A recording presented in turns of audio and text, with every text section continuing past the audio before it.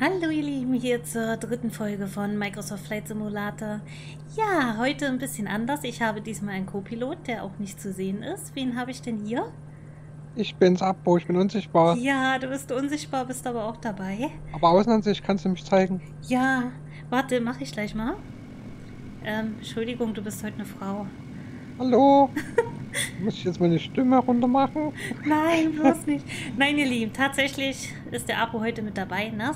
Sitzt virtuell mit im Cockpit und begleitet uns auf unserem Flug heute von München nach Innsbruck, ne? Genau. Wir wollten das einfach mal ausprobieren, weil in Innsbruck sind sehr viele Berge, ne? Da wollen wir das mal angucken. Oh, Ui, was war das? guck dir das an. Cool. Oh, da hat einer auch leicht. Oh, guck mal da. Krass. Da hat einer aber auch leichte Landeschwierigkeiten, oder? Na? Gut, kein Problem, habe ich auch. Vollstes Verständnis. Oh je. Oh. Ja, in München ist schon was los, ne? So, cool. Ja, ihr Lieben, ich hatte euch ja auch erzählt, dass ich in der dritten Folge mal ein anderes Flugzeug nehme. Wie ihr seht, haben wir auch gemacht. Zwei mehr würden hier reinpassen und wir fliegen heute mit dem Diamond Aircraft. Genau. Cool. Ist Oh, das- los. Ja, das kann ich mir die ganze Zeit angucken. Guck mal, der landet auch nicht richtig. Hüpf, hüpf. Okay, aber cool. Oh, ja, hier ist wirklich was los. So, gut. Ich würde mal sagen, wir starten auch, oder? Genau, sonst wird das hier zu, Ja, hier wird zu voll. zu laut hoch. Ja. Ganzen Motoren.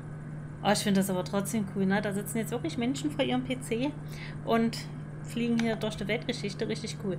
So, Parkingbremse haben wir gelöst. Ja, ihr Lieben. So, ich denke mal, das Wichtigste ist eingestellt. Na, mein Co-Pilot übernimmt den ganzen Funk und so immer noch. Und hier haben wir auch die Anzeige, wie weit wir fliegen müssen. Nautische Meilen so knapp 69. Und die Route ist aber hinter uns. Nein, was habe ich jetzt gemacht? Okay, jetzt. Da seht ihr das. Fängt ja schon gut an. Verstelle ich mir erstmal alles. Okay, so. Sind wir ready? Los geht's wieder, Sind wir angeschnallt? Ja. Okay, los geht's. So cool, dann müssen wir da ein bisschen wenden vorne. Und wir fliegen wieder Sichtflug und so, ne? Genau. Ja.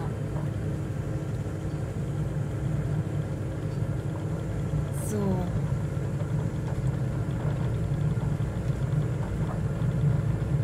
Bei 70 Knoten heben wir dann ungefähr. Was wieder davon abhebt. Na, na, ist cool, ne? Ah, ich habe gar nicht die Anzeigen von den anderen Leuten dran. Wir heben auch ab. Genial. Wiedersehen, München. Tschüss, München. Tschüss. So. Ja, meinst du, wir können schon eindrehen? Ja, oder? Ja, einfach rüberziehen. Man soll ja immer so über der Startbahn starten, da weiß ich gar nicht, ob das so ähm, erlaubt ist, so nah am Flughafen so eine Kurve zu ziehen. Ich denke mal ja nie wegen den Einflugschneisen. Dann wird Ja. bestimmt erstmal ein Stück rausfliegen müssen. Denke ich auch, ne?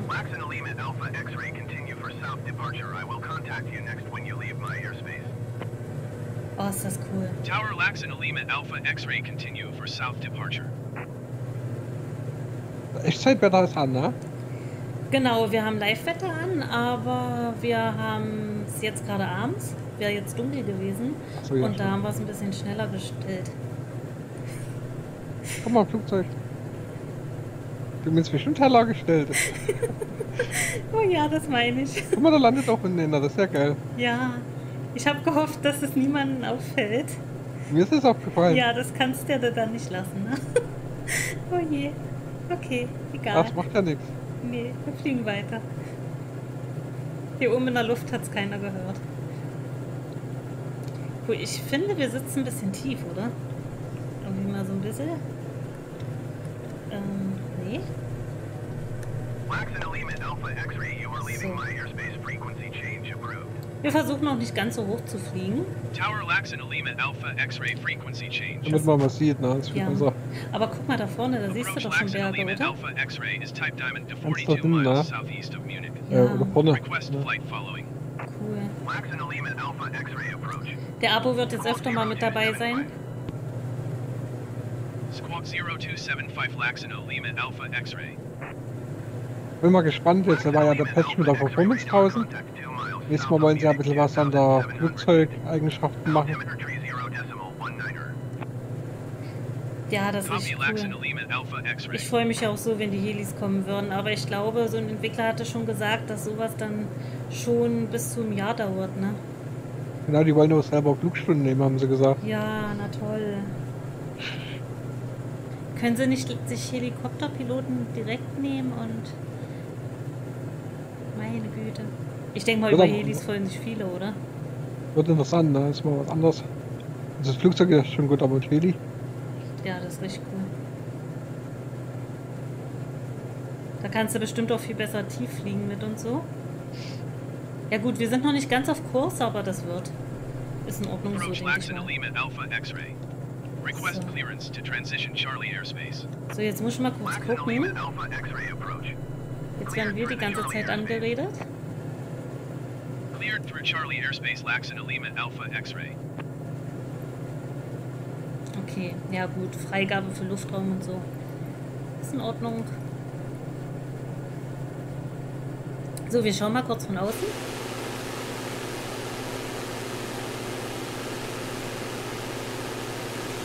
Ja, die Grafik ist einfach top. Ja, super, ne? Wenn man sich mal überlegt, dass das die ganze Welt ist, richtig klasse. So, ihr Lieben, die ganzen anderen deutschen Städte, die werden wir uns natürlich auch mal nochmal genauer angucken, wie München und so. Aber wenn man natürlich jetzt hier so eine ganze Strecke schon fliegt, das würde das Video dann sehr in die Länge ziehen, ne? Genau.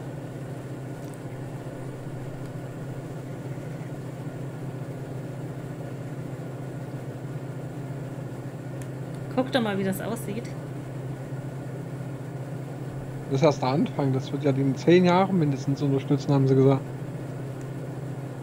Und die Karten und so, die werden auch regelmäßig geupdatet, oder? Genau, das haben die auch gesagt.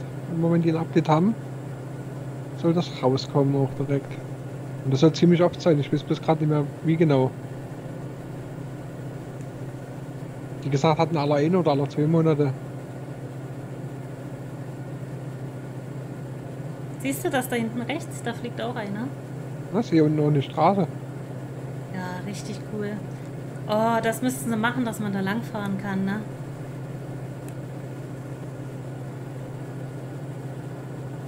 Viele hatten schon gesagt, dass das teilweise besser aussieht als in der richtigen Welt.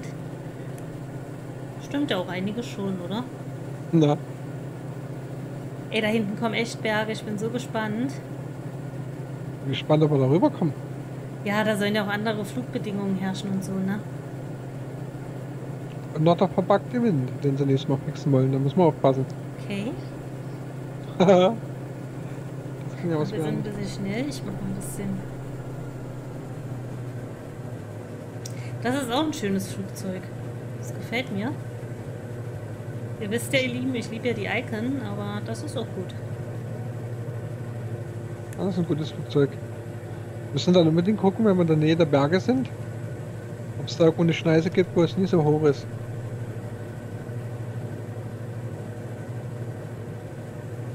Ja, stimmt. Man muss ja auch beachten, wenn man landet, ne? Da ist ja generell alles höher. Da kannst du ja dann nicht auf 500 Fuß oder so fliegen, ne?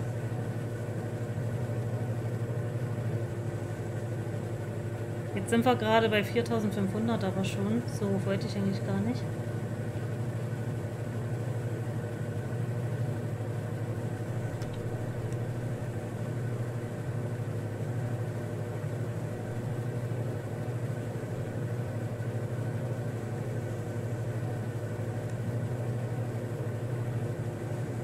Wo die Sichtweite, wie die das hingekriegt haben, ist echt makaber. Richtig schön.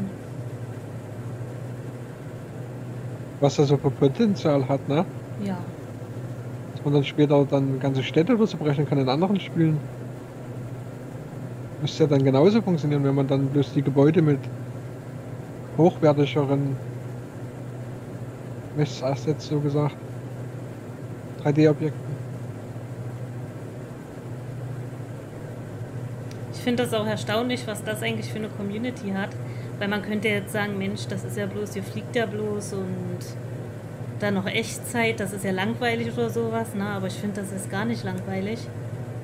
Ich finde das echt Tja. faszinierend. Ich habe sogar gelesen, im vorigen Monat, also August, sind mehr, also dreifach so viele Flüge mit Microsoft Flight Simulator wie mit echten Flugzeugen geflogen wurden. Echt jetzt? Ja, kann ich mir Na? vorstellen. Guck mal, da unten ist auch einer. Siehst du das? Vor uns direkt unten? Im Nee, der, ist so, der ist so winzig, wie siehst du das? Ja, wir haben das jetzt ausgeschalten, die Anzeigen. Ich versuche mal, da muss ich meine Nase runterziehen. Da, guck, wo mein Ah. Pfeil ist. Wie siehst du sowas? Ich sehe das blinken. Ist ein, ein Fernglas. Nee, ich habe das mal ausgeschalten, dass wir ein bisschen mehr, ich sag mal so realistisch sehen. Natürlich erstmal wieder. 3700 feet. Aber auch schön, dass die so weit dargestellt werden, ne? Ja, das ist toll. Ich habe aber auch volle Schwarte an, also Das ist Sichtweiten München und rechts, so. oder? Ja. Ja gut, sowas habe ich angelassen, dass man genau weiß, wo welche Stadt und so ist. Das wird ganz gut angezeigt. Ja, Cool und hier. das, Ja? ja. ich wollte gerade sagen, das wäre wirklich cool, wenn die später das noch erweitern, dass man wirklich alles sich anzeigen lassen kann, jeden Fluss und wie er heißt Ja, und das wäre Straßen und schön, ne? Das hätte ich auch gern.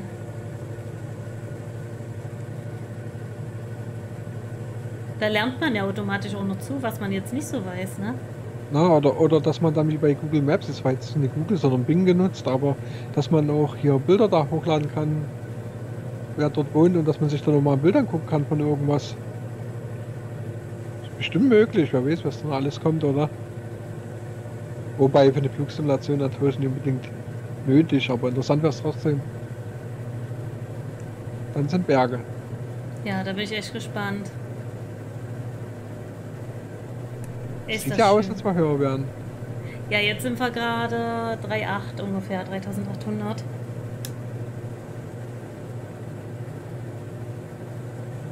Ja, ist vielleicht besser, dass wir von München nach Innsbruck fliegen, statt andersrum, weil dort die Höhe zu gewinnen. Wäre dann vielleicht gar nicht so einfach gewesen.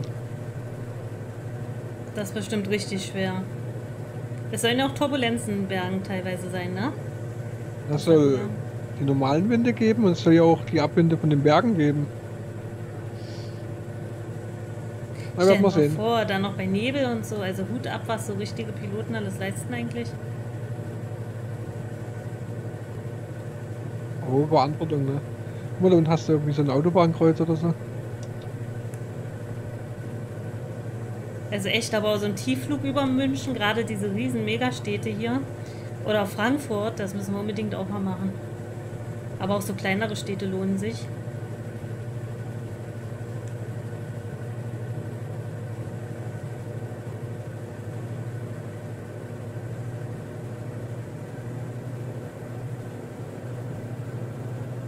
Das Flugzeug hier hat ja sogar einen Autopilot, ne? Ja, cool.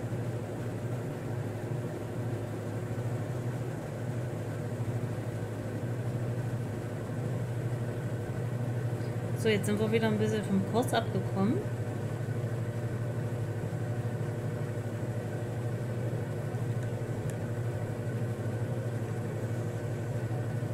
Wo die ganzen Bäume da unten und so, das ist schon.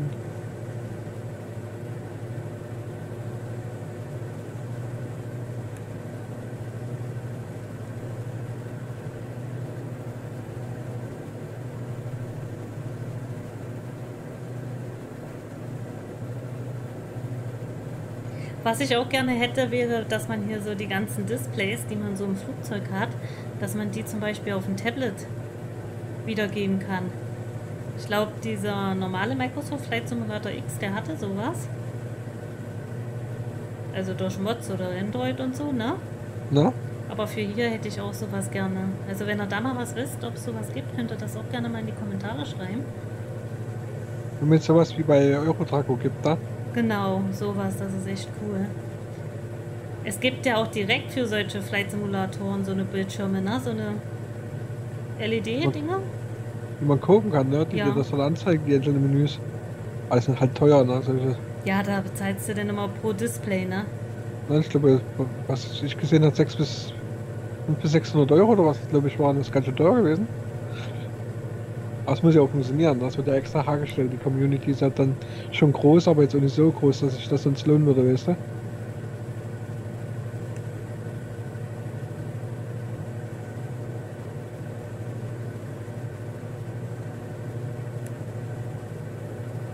Sie so ein ganzes Cockpit bauen, ist bestimmt auch interessant, aber müsste man irgendwie eine Kombi machen aus Flugsimulator plus Fahrsimulator gleich. Ja, das würde sich lohnen und der mit drei Bildschirmen und so, ne? Oder VR-Brille. Oh, VR, das ist hier jetzt noch nicht aktuell. Nee, das soll aber kommen, oder? Soll schon im Herbst kommen, ne? Also das ist ja nicht mehr lange. Oh, das ist bestimmt cool, ne?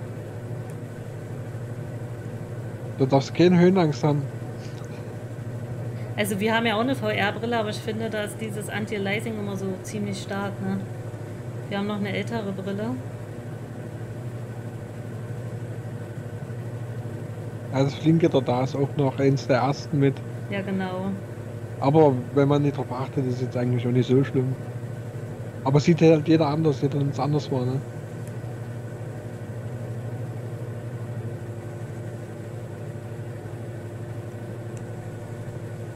Aber hier wird man ja sowieso erstmal nur das Microsoft-Modell nutzen können, so wie es klingt. Was zusammen mit Steam, also Valve, entwickelt worden ist. Das soll als erstes unterstützt werden und danach sollen die anderen folgen. Wobei jetzt die Sache ist, da ja die Oculus-Reihe, also Oculus Rift und Oculus Quest, wie sie alle hießen, da jetzt ja Facebook vorausgesetzt wird. Die Frage ist, ob das dann damit gehen wird.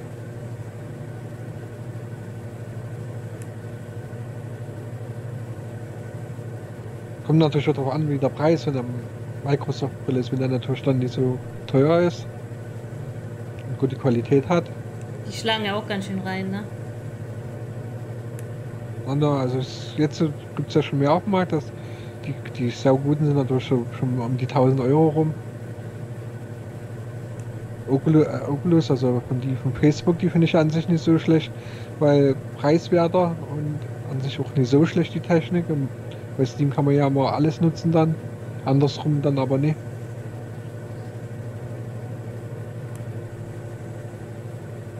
Aber so die Frage, ist, welche, welche Grafikkarte soll ich haben? Die neuen Grafikkarten dann vielleicht. Aber du brauchst ja die durchgehend die 60 Bilder dann.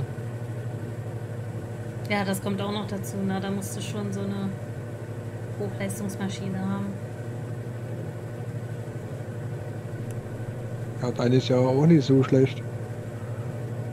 Auf der du das gerade spielst, die ist zwar ziemlich gut. Aber VR kostet halt immer das Doppelte, ne? Für jedes Auge so gesagt.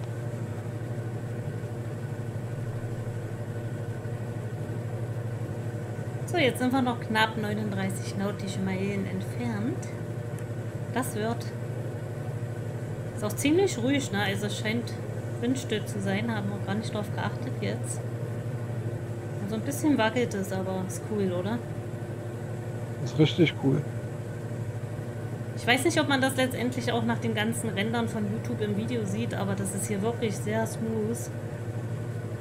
Und manchmal hat man das ja dann, selbst in so einem, sage ich mal, bei Eurotrack hat man das manchmal so, dass das dann so zuckelt so leicht, ne? Aber hier ist das echt extrem smooth, finde ich. Oh, was man hier sagen muss, äh, Anti-Aliasing, ne? Also Kanteneffekt und so hast du hier in dem Spiel was gar nicht. Nee, das stimmt, das finde ich gut. Aber kann man hier direkt noch einstellen, ne? So, was haben wir da So. drüben? Warte mal. Muss ich mal so gucken. Segelflugplatz Königsdorf. Cool. Hallo, Königshof. Wir grüßen euch. Da wird es ja bestimmt Druck geben, was so heißt, oder? Wenn nicht, haben wir halt einen Flugplatz gegrüßt. Aber Segelflieger irgendwann hinzugefügt werden? Ach, das haben die doch gesagt, oder? Ja, das wäre cool, ne? Ich glaube Helikopter und dann hatten wir was von Segelfliegern gesagt. Hast du dann keinen Motor? Du hast da hochgezogen und dann geht's bergab. Na toll. Runter kommen sie Kannst du damit ewig fliegen? Also, man, die nutzen ja, also die Segelflieger nutzen ja auch Winde und so. Aber da ich keine wirkliche Ahnung davon habe, mir war es so, als sie sich in der Luft halten können. Wie so ein Vogel, weißt du? So ein Mhm. aufgetriebene, aber das kann ich nicht sagen genau. Und hier wäre es jetzt einfach schön, ihr seht ja hier die kleinen Dörfchen und Städtchen, wenn da jetzt einfach auch so, ein, so eine Markierung wäre und da stehen würde, das ist jetzt das und das, ne? Na, na. Dann weiß man, wenn man nochmal hier lang fliegt, oh cool, das ist da und das und oh, das wäre schön. So, da vorne kommen sie.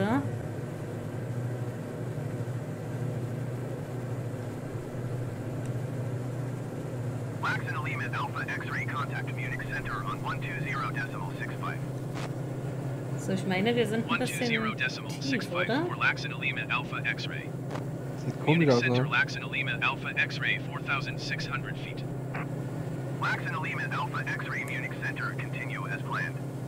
Oh, ist das schön. 30.22.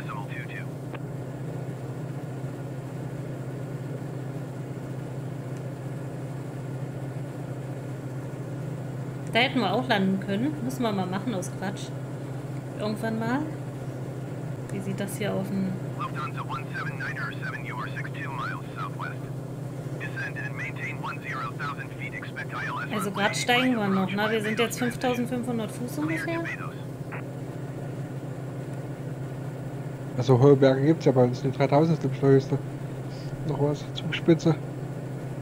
Descend and maintain 10,000 feet. Expect ILS runway 8 right So müssten wir eigentlich rüberkommen. Ja, das ist so krass. Ich muss mal von außen gucken. Ich will nicht ganz so viel außen an sich ihr Lieben, aber ab und an gehört es dazu. Ja, oh, ist das schön.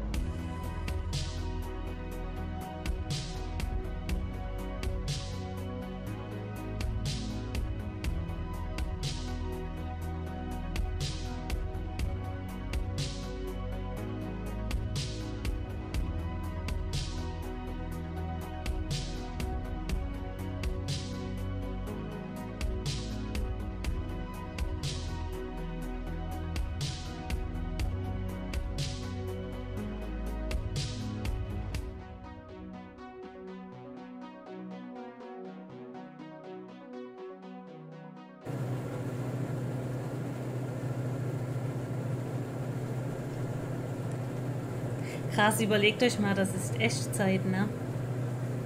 Was wir jetzt fliegen. Also im Normalfall wärt ihr ja bestimmt auch so lange dann geflogen.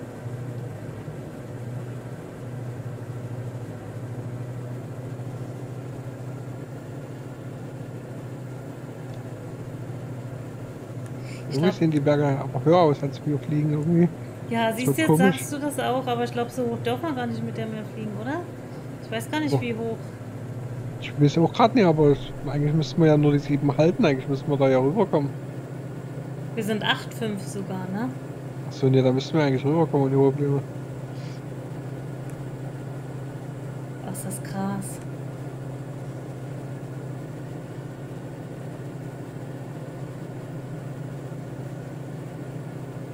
Also ich weiß nicht, ob das in echt auch so ist, aber das wackelt teilweise jetzt hier ganz schön.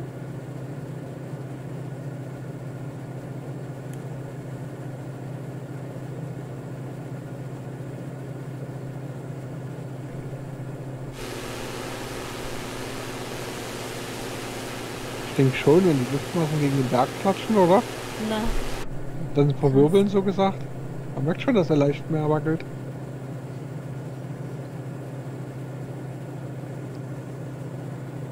War aber gerade von dem Ausblick so fasziniert.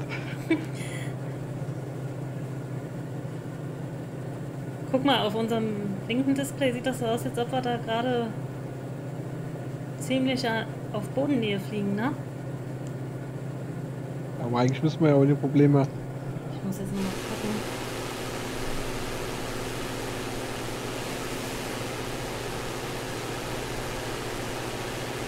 Ja, doch, oder? Eigentlich müssen wir noch auf die Anzeigen vertrauen. Es gibt keinen Berg, der in Deutschland größer ist wie die H3000. Also müssten wir ja ohne Probleme rüberkommen.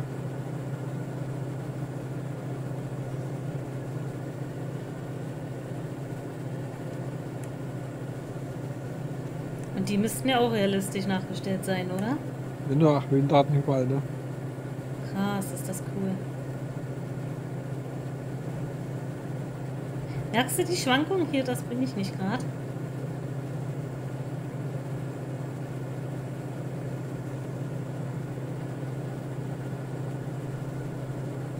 Echt Angst, dass wir jetzt hier die Geschwindigkeit verlieren. Jetzt wir doch noch höher müssen, aber ich glaube, das müsste gehen.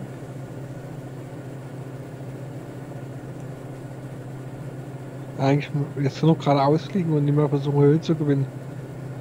Damit wird man nicht langsamer, denke ich mal. Nee, das sind wir jetzt so bei 9,9 ungefähr.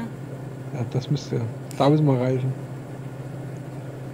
Ich sag mal, ihr Lieben, wenn was schief geht, ist das ja auch nicht so schlimm, ne? Aber man will ja doch versuchen, das immer sicher zu starten, zu landen und zu fliegen. Ist ja auch mal eine kleine Herausforderung, das macht ja dann Spaß. Aber mich wundert, dass wir unseren Flughafen nicht bekommen bis jetzt. Oh, Hilfe. ich halt ganz still, ich mach gar nichts. Das ist ja krass. Ah, das sind dann schon richtige Turbulenzen jetzt, oder? Innsbruck Tower lacks Genau, Limit du so- Alpha X-ray is 11 Wenn du so an den Bergen so bist. Laxton Lima Alpha Jetzt haben wir es gekriegt. Into right downwind runway 8. Altimeter tree 0 decimal 26 wind calm. Fly right traffic runway 8 Piste lacks an 8. Lima Alpha X-ray.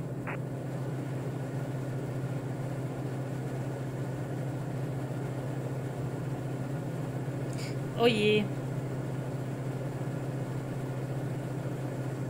Oje? Oh je. Na, wir haben keine Anzeige, wo wir genau landen sollen, außer die Mustereingabe gerade. Ist das gerade Wind, was so übelst klingt? Ja, ist krass, ne? Aber der hat ja gemeldet eigentlich, dass kein Wind ist. Ja, aber dort unten, hier oben, oder? Okay. Na toll. Ja, ich habe das die so, Navigation. Nee, nee, das klingt hier auch so im Hintergrund, ne? Aber ich habe die Navigationshilfen runtergestellt und daher haben wir jetzt keine Anzeige. Dann anschalten? Wir sind ja keine Profis. Ich will aber ein Profi sein. Ja, dann musst du es immer probieren. Auf Sicht halt ran pirschen. Ey, wie das die Piloten machen, das ist echt unglaublich, oder? Ja, die benutzen auch ihre Displays da, denke ich mal. Ja, na klar, aber da wird dir ja nicht direkt der Flughafen angezeigt hier drauf. Guck doch mal, das. Du musst ja trotzdem gucken, wo es denn unten ist, oder? Das schon, ne? Aber warte mal. Hm. Der müsste unter uns sein, ne? Da, Da unten dann. Oder mehr rechts. Man sollte doch hier die Ene-Taste drücken. Dann zentriert er da drauf. Also Ja. rechts mehr. Die Landebahn. Na, Ah, du musst ja nach links anfliegen, oder? Ja, aber woher weiß man jetzt als Pilot, wo ist die Piste 8? Das müssen wir ja noch landen. Vielleicht haben die da Zettel, die die dann lesen, wo dann drauf steht, das und das ist zu beachten. Oder so eine Map oder so, ne? Ne? So Fluginformation vielleicht. Und die Falls können ja ja- nicht in der Außenansicht gucken, ne? Na?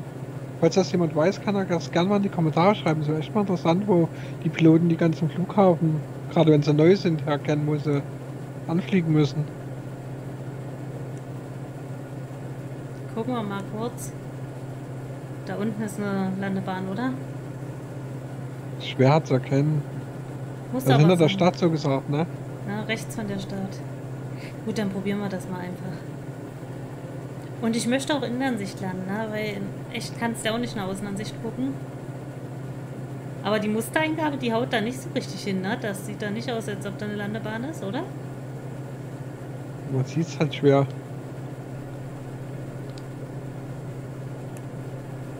Oh, cool. Okay, dann probieren wir das jetzt einfach.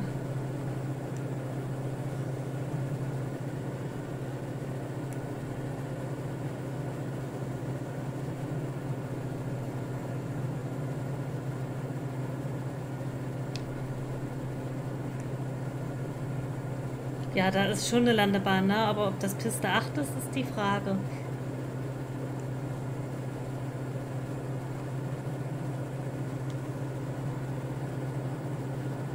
So, wir sind aber noch viel zu hoch.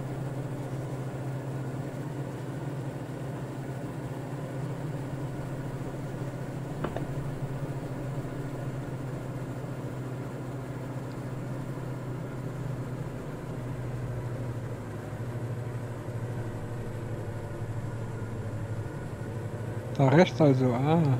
Mhm. Aber ob das die 8 ist, ist die Frage, ne? Ja, wird man sehen. Ja, wir sind viel zu hoch.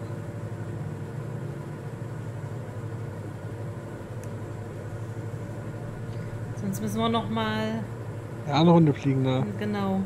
Aber wir kommen ja auf eine Berge hoch, ich meine, so fliegt ja bestimmt kein normales Flugzeug. Da müssen wir noch mal eine Ehrenrunde, glaube ich, drehen. Kannst du gleich gucken, was der 8 ist, wenn du rüberfliegst.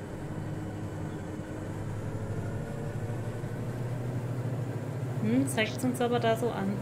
Aber die Mustereingabe, die jetzt hier links ist, die stimmt ja dann gar nicht, oder? Das Nee. haut ja überhaupt nicht hin. Oder vielleicht bedeutet Mustereingabe ein Anflugsding, dass ja, das das kann auch sein, ne? Das stimmt. dass oder- er da Wegpunkte vorsetzt, wo du die, die Kurven fliegst. Hat der Also nur die da- eine Landebahn? Nee, ja, sieht so aus, ne? Ja, nur eine, ne? Dann. Es kann sein, dass er dich zu der Mustereingabe führt, ne?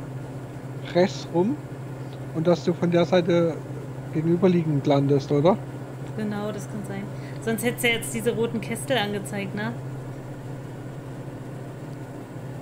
Aber Wobei jetzt ist die Frage, wo darf ich denn jetzt landen? Darf ich jetzt hier links landen oder da vorne, ne? Das ist auch sowas, was ich mich frage. Vielleicht kann man, der hat ja Seite die Absetzdinger, ne? Vielleicht kann man je nachdem, wie es frei ist, landen und von wo man kommt. Aber da unten klickt gerade einer auf der Landebahn. Tut gerade einer zum Start fahren. Und der würde jetzt in die Richtung, wo wir gerade hinfliegen, abheben, wie es aussieht. Siehst du das? Okay. Also links hinten ist die 26 und hier vorne ist die 8. Jo. Okay, also müssen wir von der Seite. Hier, genau, hier ist die 8. Ah, also kann man es von beiden Seiten anfliegen, je nachdem, von wo man kommt, bestimmt. Genau, aber wir müssten jetzt bei der 8 landen, ne? Ne? Hat er uns gesagt. Waxon Alima Alpha X-ray cleared to land runway 8. Gut, wir haben gerade eine Freigabe bekommen für die Landung. Cleared to land runway 8 Laxon Alima Alpha X-ray.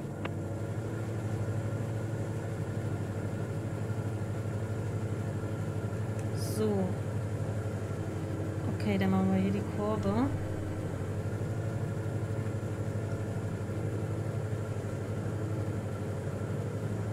Ja, stimmt, in der Höhe hätten wir echt nicht landen können, weil wir auch viel zu schnell waren.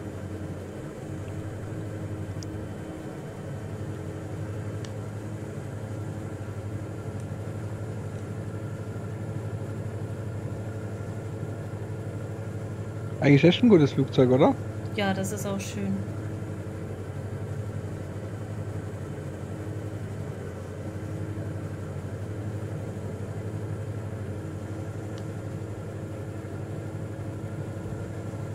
Ah, guck mal da vor uns. Das ist der, der Was? gestartet ist, oder? Ne?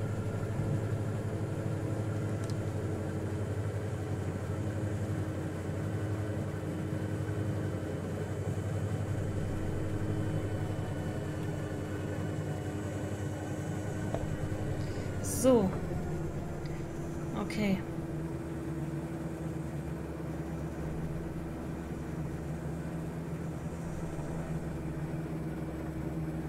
Willst du schon die Landeklappen oder meinst du so früh? Hm, Ich habe schon mal 15 Grad. Ich mach gleich noch auf 30.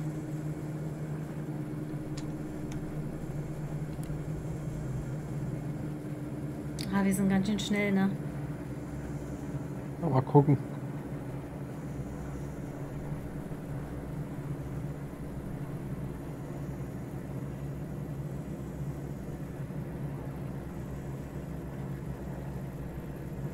Ganz so verkehrt sieht es ja gar nicht aus.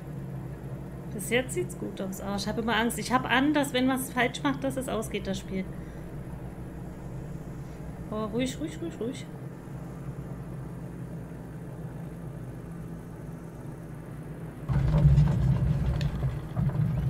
Ja, okay, ein bisschen. Ein bisschen holprig aus, sonst ging's doch. Laxon Alima Alpha X-ray exit runway when able. Cool, schaut mal, wir sind gelandet in Innsbruck. Landung mit stehendem Triebwerk haben wir freigeschalten. Errungenschaft. War unser Triebwerk Hm. nicht mehr an, oder wie? Ja, komisch. das ist gerade erschreckt. Ja, ich habe gar nicht mit gerechnet, dass der da jetzt so ankam. Gut, der hat ja auch gesagt, Piste will möglich verlassen. Oh, das war cool, ne? Ihr Lieben. Ne?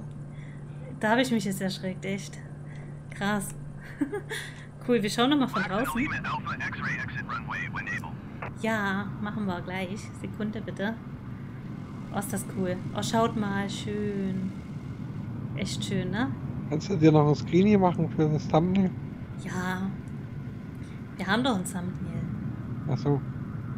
So, ihr Lieben. Gut, dann hoffen wir mal, dass euch diese Folge gefallen hat und ihr in der nächsten Folge wieder mit dabei seid.